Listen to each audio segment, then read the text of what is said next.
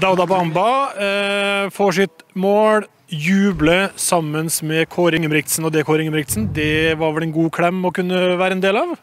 Ja, Definitivt. Eh, Vi følte vel at da, da var det avgjort. Så det var fryktelig godt med tre poeng, og ikke minst da Dauda skåra. Det er virkelig fortjent. Jobba hardt eh, eh, nå, og vært god i siste uka på trening og skåra mye mål. Så det, det er viktig for oss, det er viktig for han. eh, Så nei, det var kjempeartig. Vi hørte jo akkurat Dauda sjøl òg, Tore.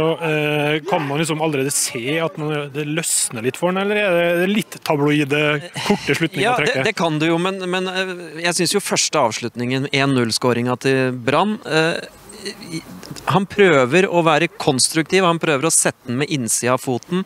Veldig beherska, og vi snakka om dette her før kampen i dag, at han hadde brent mye sjanser med å bruke mye kraft. Og kanskje har de stått igjen litt på feltet og øvd litt på eh, enkelhet. Og han snakker jo om smil og lavere skuldre og litt sånne ting, så kanskje har det hatt en effekt allerede på Davda Bamba. Det er i hvert fall forløsende for han å få den skåringa som han får i dag. Har du sett noe, eh, sånne tegn, Kåre sjøl, at det liksom er i ferd med å løsne litt? og at det er litt mer... Ja, altså, som jeg har sagt, vi har, eh, vi har br- brøttet det helt ned på trening. og Han har skutt på åpent mål til, til å begynne med å bare sette dem i, i hjørnene. og det Presisjon slår eh, stort sett kraft eh, 95% av gangene.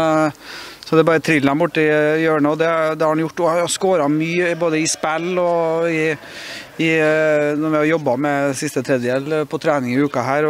Så han har vært veldig rakrygga og vært eh, Jeg tror han har fått sjøltillit gjennom den treningsuka. Det tar han med seg. Også.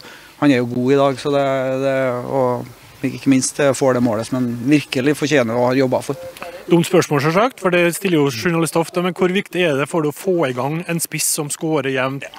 Det er alfa og omega sånn, eh, for oss å få i gang. Han, han er en spiss, og en eh, spiss til oss skal ligge rundt eh, 15-20 mål. Eh, Da skal vi være der vi er bør være, syns vi sjøl. Da, da trenger han hjelp. Eh, Han må ha mye folk i boksen, han eh, trenger trafikk rundt seg. og og I dag syns jeg vi, vi, det er mye gode bevegelser eh, rundt den. Så det, vi klarer å sette den opp bedre nå og hjelpe den bedre enn det vært eh, tidligere. Det ble tre poeng til Brann i dag, Toro. Ser vi et stempel nå på, som begynner å befeste seg litt i spillet på, til Brann nå, eller? Jeg syns venstresida til Brann var god. Jeg syns det var gode relasjoner mellom Grøgaard, Petter Strand, Robert Taylor.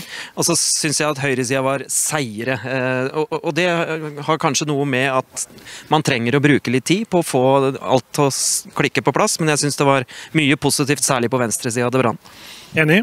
Ja da, det, de venstresida fikk eh, eh, spilt eh, veldig mye gode kombinasjoner. og Så, så må vi bli flinkere, da. For Stabæk eh, flytter jo over hele laget. og Det er jo da vi skal vende spillet og få litt overtall. Og, og få gitt egentlig eh, høyresida litt større rom. Så vi, eh, jeg syns vi, vi ser eh, bedre ut, og vi var enda klart bedre synes jeg, i andre omgang. Da hadde vi god kontroll på det. Da fikk vi unngå at de spilte imellom oss. Da kunne de forstå rundt og slå innlegg. Det, mot den foran eh, eh, Kristian inne her, så det, det, det håndterer vi bra. Så vi, vi sakte, men sikkert så, så, så beveger vi oss. eh, Vi, toget begynner å få litt rull på hjulene, i hvert fall. Det er bra. Takk skal du ha, Kåre Ingebrigtsen. Gratulerer med seieren.